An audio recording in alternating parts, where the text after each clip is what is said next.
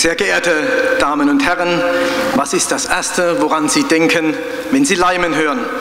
Ist es Ihr Heimatort, Ihr Verein, Ihr Lieblingsgeschäft um die Ecke, die Schule, in der Sie Ihre Jugend verbracht haben?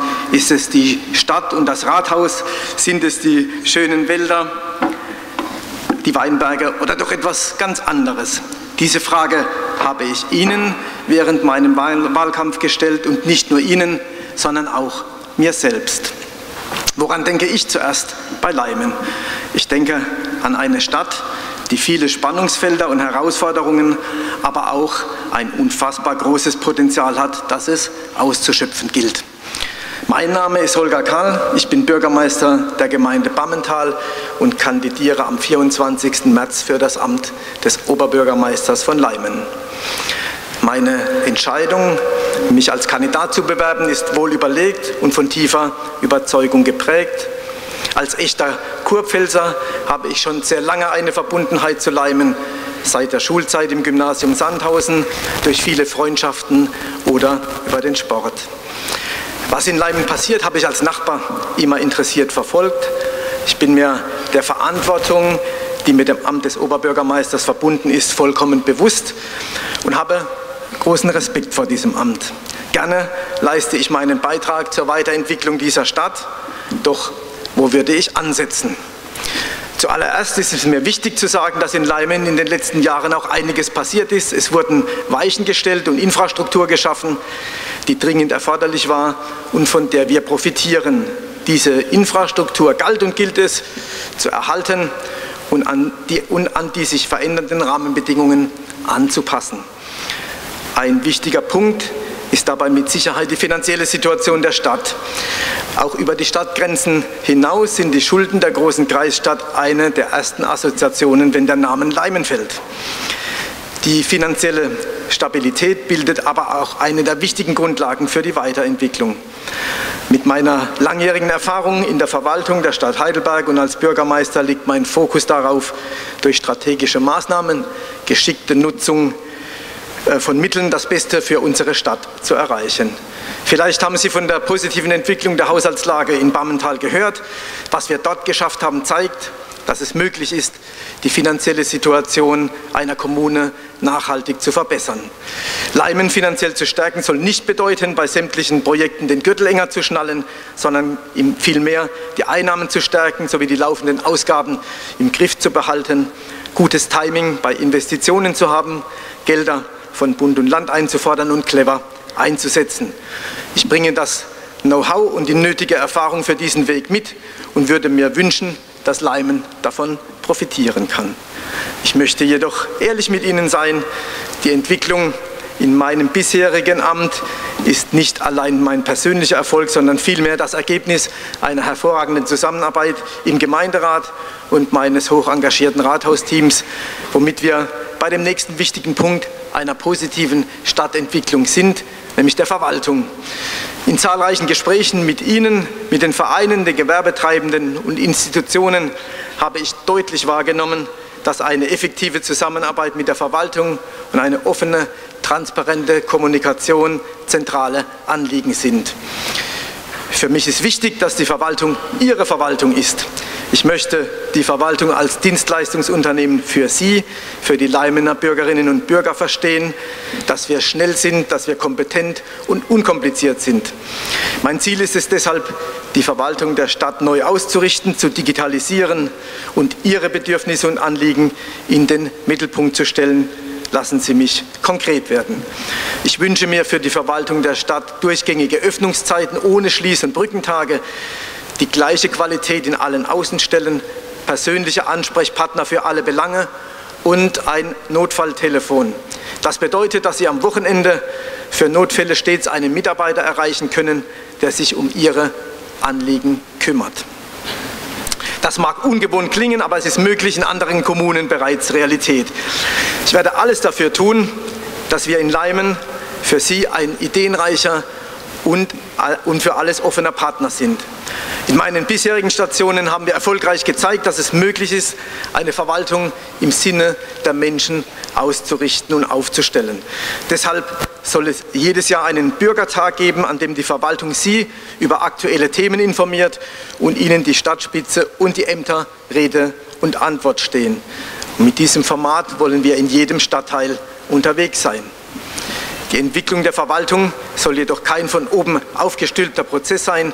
Ich möchte die Mitarbeiterinnen und Mitarbeiter mitnehmen, mit, gemeinsam mit ihnen erarbeiten, welche Sofortmaßnahmen wir ergreifen, um unsere Ziele zu erreichen.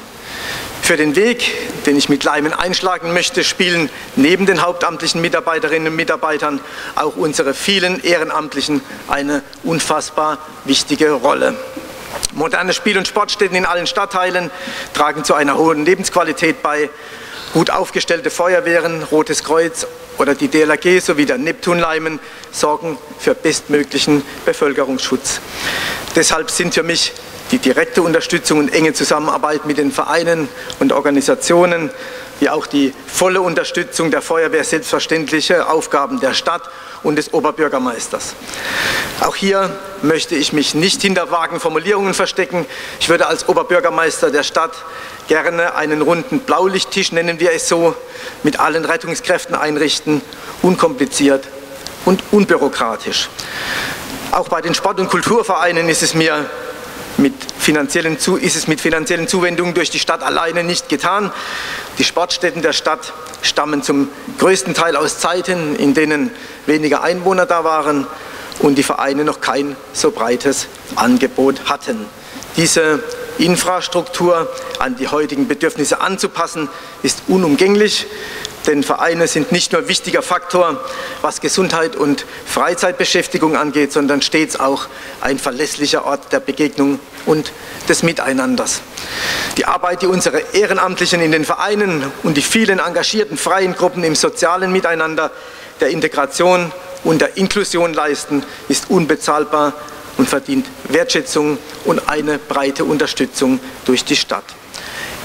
Es ist mir ein großes Anliegen, ehrenamtliches Engagement zu fördern und das nicht nur finanziell, sondern unter anderem auch durch die Bereitstellung von Räumen, Unterstützung bei Veranstaltungen und einer guten laufenden Zusammenarbeit.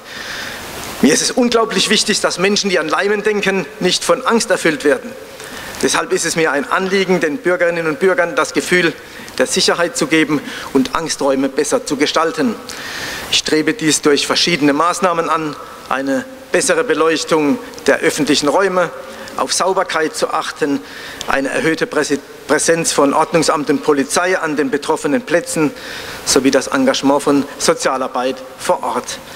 Gleichzeitig ist es wichtig, öffentliche Räume zur Verfügung zu stellen, wo sich jeder rücksichtsvoll aufhalten und entfalten darf. In einer Stadt, in der ich Oberbürgermeister bin, soll kein Mensch Angst haben, sich frei in seiner Umgebung zu bewegen, unabhängig von Alter oder Herkunft.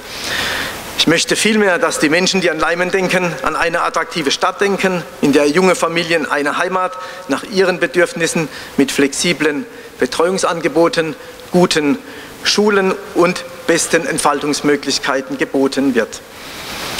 Ich möchte, dass die Menschen an eine lebendige Stadt denken, in der Gewerbe, Gastronomie, Handwerk und Hotellerie erfolgreich sind, durch eine Zusammenarbeit auf Augenhöhe mit der Stadt und mit Institutionen wie dem unvergleichlichen Leimen aktiv, sollen sie sich gut entwickeln können und an eine Stadt denken können, in der in allen Stadtteilen mit Spaß, ordentlich und angemessen gefeiert werden darf. Ich leiste gerne meinen, meinen Beitrag, dass ein Gefühl der Zusammengehörigkeit in der gesamten Stadt entsteht und sich in Leimen, St. Ilgengau, Angeloch, Ochsenbach und Lingenthal alle gleichermaßen wahrgenommen fühlen. Und ich habe gelernt, dass Ochsenbach die Hauptstadt von Leimen ist.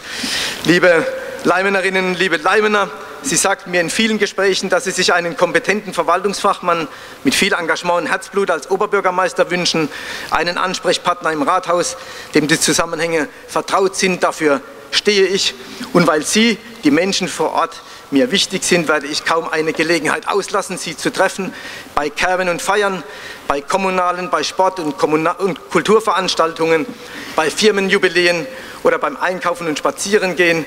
Bürgernähe lebe ich aus Überzeugung und ich wünsche mir, dass Sie in acht Jahren an eine Stadt denken, die rund läuft und in der sich jeder Bürger wohlfühlt, Jetzt bin ich nicht der Größte, meine Damen und Herren, aber bereit für die große Aufgabe hier.